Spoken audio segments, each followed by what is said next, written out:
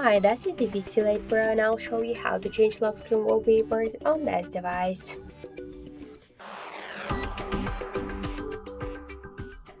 So open the settings first and then tap to wallpaper and style.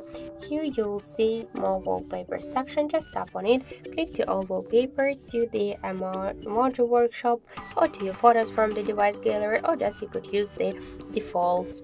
Just select one from the available wallpapers, use home or lock screen, just tap to set wallpaper and click to the lock screen.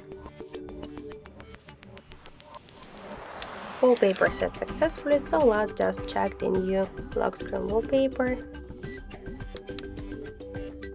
Okay, I just should um, set up the lock screen. Lock, so let's use the pattern.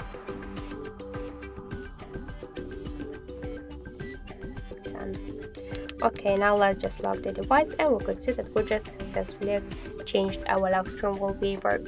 Also, we get one more way how we could do that. We should just hold for a while home screen with our finger, then tap to wallpaper style.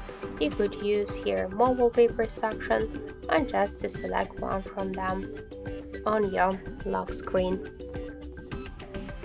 Tap to lock screen, set lock screen, and that's it.